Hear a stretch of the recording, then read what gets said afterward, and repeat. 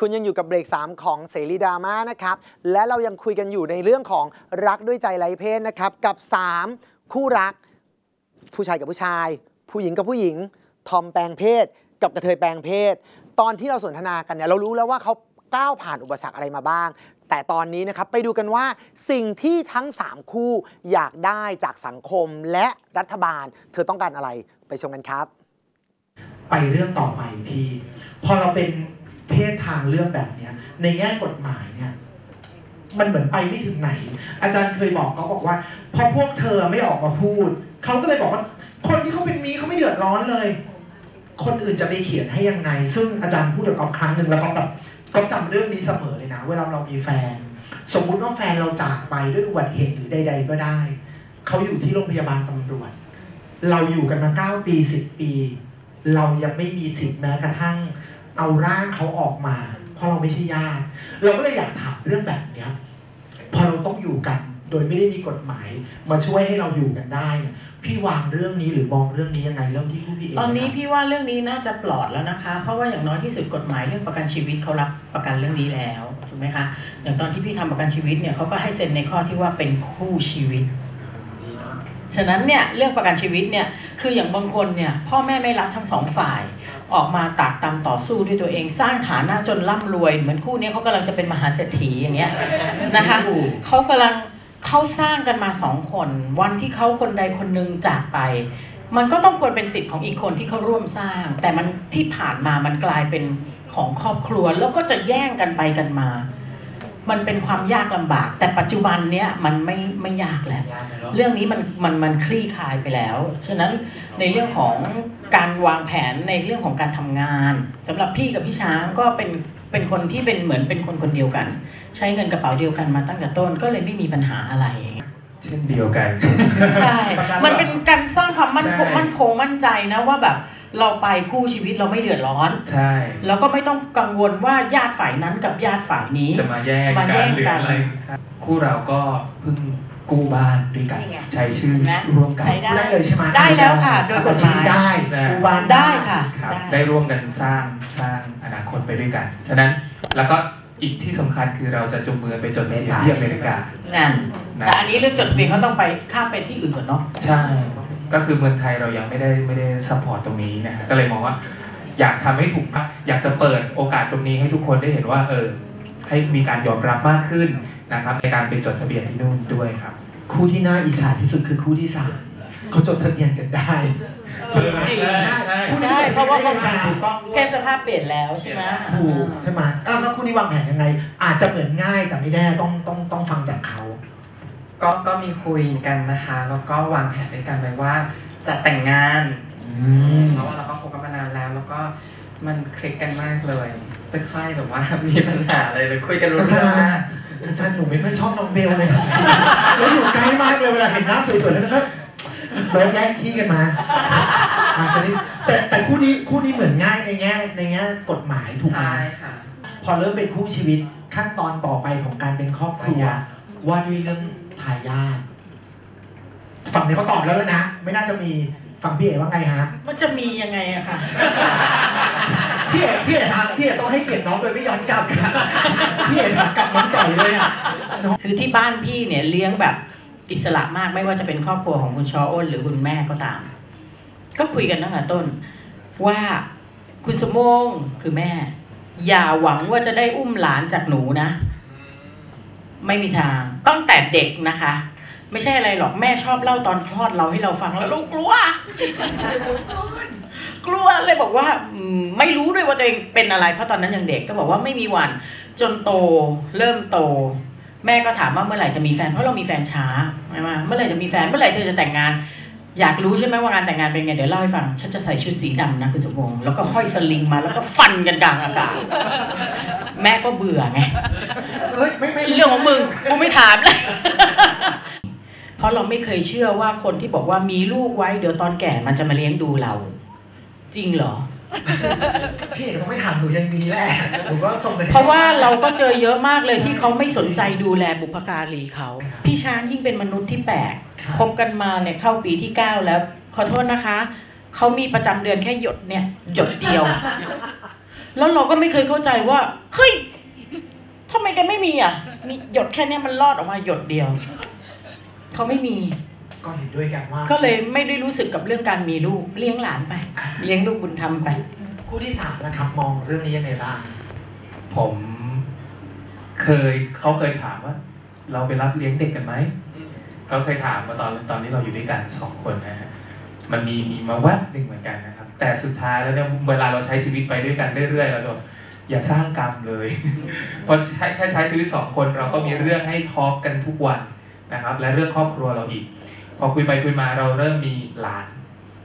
หลงหลานหลงหลานไปแล้วครับตอนนี้ก็เลยเป็นว่าเราเลี้ยงหลานเราเราอยู่กับครอบครัวตรงนี้ดีกว่า คือคือที่เขาถามเรื่องนี้คุณผู้คุณผู้ชมครับเขาเขามองอย่างนี้ว่า เวลาคนที่เป็นสามีภรรยา เขาชอบใช้คำว่า มีลูกมาคล้องใจ ที่จะจบคำถามนี้เพราะว่าอืมสังเกตว่าคนแบบเราเราใช้ใจ คล้องใจเราใช่ตราบใดที่เรายังรักกันอยู่เนี่ย แล้วเราฟังกันอยู่ก็ว่าลูกไม่ใช่เรื่องที่เป็นคำตอบ และคำตอบของผู้กองคือดี ดีไม่ดีอะ เราจะสร้างกรรมอีกสร้างกรรมคนอย่างเราเรานึกออกปะเราจะแบบใช่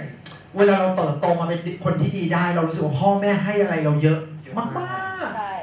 ดังนั้นก็เรื่องนี้นี่คือเรื่องของความรักของคนที่เป็นเพศทางเลือก เราใช้ใจคล้องกัน แต่นี้ลูกก็ไม่ช่วยนะคะ ถ้าเขาหมดรักกัน ใช่ ไม่ช่วยเลยกลายเป็นภาระไปอีก จริงอะตอนนี้มันเหมือนกับว่า เราเป็นคู่รักแบบเพศทางเลือกที่ประสบความสำเร็จ แต่ก็เชื่อว่าในความสำเร็จของความรักอะมันมีอุปสรรค ซึ่งเมื่อกี้ที่เขาถามเนี่ย มันเป็นอุปสรรคภายนอกทั้งหมดเลยนะเอาอุปสรรคที่เกิดขึ้นจากคนสองคน คนที่ก็ก็เชื่ออย่างนี้เพศเดียวกัน มันจะมีอะไรบางอย่างที่มันเหมือนกันซะจนแบบต้องตีกัน อะเริ่มที่คู่พี่เอกกับพี่ช้างก่อนเชิญครับ มันถามพี่ไม่น่าจะได้อะไร เพราะว่าอยู่กันมา9ปีเข้าปีที่9ไม่เคยทะเลาะกันสักครั้งเดียวน่าอิจฉาเป็นมือสิคะรออะไรเก้านาทีไม่ไม่เคยค่ะ เพราะว่าเรา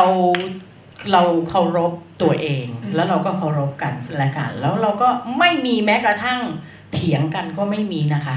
ถ้าจะเถียงก็คือเถียงกันในเรื่องการทำงาน เพราะคู่นี้ทำงานร่วมกัน เป็นคน production ทั้งคู่ ก็จะเถียงกันในเรื่องของ project ของงาน แต่ชีวิตคู่ไม่เคยแม้กระทั่งจะเถียงกันไม่มี เพราะว่าไม่รู้จะมองอย่างให้มันเป็นปัญหาทำไม ถ้าเรารักกันมากพออะเราจะมองทุกอย่างด้วยความเข้าใจ จริง ๆ นะ ต่อให้เขาแววมาทีนึงแล้วก็อืมมันเหนื่อยมั้งเออเออเอออย่าไปว่าไม่เอเอออเออเออเอออะไรอย่างเงี้ย คือไม่มีโดยเฉพาะเอ๋เนี่ย ต้องถือว่าโชคดีมากเพราะคุณช้างเนี่ย ไม่เคยยอมให้เอ๋เหนื่อย เลย เลยนะคะ แม้กระทั่งจะทำจะหยิบจะจับจะผูกเชือกรองเท้าจะทำอะไรเขาจะทำให้ทั้งหมดเขาบอกว่าเขาทำให้แม่ได้ยังไงเขาก็ทำให้เราได้อย่างนั้นเราก็เอ๊ะหรือมึงคิดว่ากูเป็นแม่ดีที่ถามเองถามพี่ช้างพี่ช้างยังไงช้างต้องดีๆนะไม่เขามีความรู้สึกว่าเขารักได้แบบไม่มีเงื่อนไข เราก็เลยไม่เคยมีปัญหากันเลยสักนิดเดียวนะครับนี่คือประสบการณ์รักของ 9 ปีอะมา 5 ปีบ้างไม่มี ปัญหากันค่ะอาจจะเพราะว่าธรรมชาติแล้วเด็กชายกับเด็กหญิงอ๋อ เป็นธรรมชาติที่มันอาจจะลงตัว แล้วก็เป็นคิดว่าเวลาที่เราสนิทกันใครมากๆเราต้องให้เกียรติกันนะคะเออเราเป็นให้เกียรติเขามากแล้วเบลเลยลูก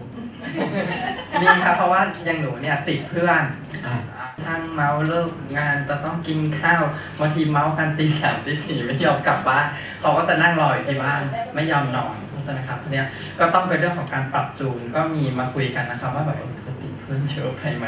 ขาเบาเกินไปแล้วก็เลยโอเคงั้นงั้นเราจะปรับตัวลงก็เลยกลายจากเมาส์ตีสี่ก็จะตีหนึ่งเอาถือยังมีความเป็นตัวของตัวเองก็เนาะถอยชีวิตคู่มันต้องเหมือนถอยก้าวหนึ่งเดินก้าวหนึ่งปรับให้มันเข้าจูนกันให้ได้ คู่คู่ใหม่สุด คู่ใหม่สุดยังไงปรับยังไงบ้างครับคบกันมีทะเลาะกันบ่อยนะครับ ด้วยความที่ ผมก็เป็นสายอาร์ตเนาะเอ่อทางดนตรีทางงาน art อะไรอย่างนี้เขาก็จะเป็นนักธุรกิจ ฉะนั้นเพื่อนเราเนี่ยมันก็จะเป็นสายบันเทิงร้องเพลงเลิกงานตีหนึ่งตีสองเอาแล้วฉันก็ยาวถึงตีสี่เหมือนกันนะฮะแล้วเขาก็จะแบบเมื่อไหร่จะกลับบ้านเขาต้องทำงาน แต่โชคดีที่คบกับเขาเนี่ยเขาเป็นคนทำงานออนไลน์ทำงานได้ทุกที่ขอให้มีอินเทอร์เน็ตนะครับขอให้มีอินเทอร์เน็ตทำงานออนไลน์ได้ตลอด พอเราคบกันเนี่ย เขาก็ออกจากทำงานที่ทำงานเก่าเขาจะเป็น MLM ขออนุญาตนะครับเป็น MLM ตัวหนึ่งนะครับเขาก็เดินเดินออกมาแล้วเขามองว่าถ้าผมเป็นสินค้าเนี่ย จะทำยังไงจะขายผมยังไงดี แล้วเราก็เลยมาร่วมลงมือทำธุรกิจด้วยกันนะฮะก่อนอื่นเนี่ยเขาทำธุรกิจเขาเองเนี่ยเขาก็จะมีปัญหาของเขาไปถูกไหมฮะเราก็จะแค่แบบดูแล้วเอออยู่เฉยๆพอเราลงมือทำธุรกิจตัวผมเป็นงานอาร์ตฉะนั้นพอผมทำธุรกิจก็จะแบบงงจะมีปัญหาหนักกว่าเดิมทะเลาะกันหนักกว่าเดิม นะฮะก็ค่อยๆ ปรับจูนกันจนกระทั่งแต่ละแต่เราจะไม่มองปัญหานั้น ให้เป็นจุดที่เริ่มว่าเฮ้ยมันมีปัญหาอย่างนั้นเราถอยดีกว่าเราเลิกดีกว่า มันไม่ใช่ ผมมองว่าปัญหานี้มันทำให้เราเรียนรู้ซึ่งกันและกันในเรื่องของการทำงาน เพราะเมื่อเราเป็นคู่ชีวิตกันแล้วเนี่ยจริงอยู่บางคนเนี่ยเป็นคู่ชีวิตแล้วทำงานคนละจ็อบแต่นี่คือเราทำงานด้วยกัน มันมีปัญหาแน่นอน ผมมองว่าก็ค่อยๆ ปรับไปแล้วกันนะฮะใช้วิธีว่า เฮ้ยทำด้วยกัน ใช้เงินกระเป๋าเดียวกัน ต้องเชื่อใจกันให้มากๆ สิ่งสำคัญคือเรื่องความเชื่อใจกันนะถ้าฟังจากบทสนทนานี้เนาะเราเรามองว่า เวลาคนมองว่าเป็นเพศทางเลือกเลือกแล้วคบกัน มันเหมือนคนปกติ สามีภรรยาที่เป็นผู้ชายผู้หญิง มันก็ต้องแบบนี้ใช้ใจเข้าคล้อง ทุกคนไม่ได้แมทกันด้วยวันแรกที่เจอ เธอถอยเธอก้าวเพื่อจะเป็นเราสองคน เราก็เลยรู้สึกว่า มันมันสรุปได้อย่างหนึ่งว่า ไม่ว่าเพศไหน แล้วคนสองคนต้องมาอยู่ด้วยกันเนี่ยหนึ่งถ้าใจคล้องกันได้ แล้วแมทกันแบบเนี้ยให้ได้เก้าปีมีห้าปีจะไปสู่เก้าปีเก้าปีจะไปสิบห้าปีสามปีจะไป มันคือความรักจริงๆดังนั้นก๊อฟก็จะรู้สึกว่าก็จะจบการสนทนาที่ก๊อฟเป็นผู้ถามบนเวทีกับหกคนบนเวทีตรงนี้ แต่ก๊อฟเชื่อว่าด้านล่างน่าจะมีคำถามบางอย่างมากกว่าก๊อฟ หรืออยากจะร่วมสนทนากับเราเนี่ยก็จะเปิดโอกาสช่วงนี้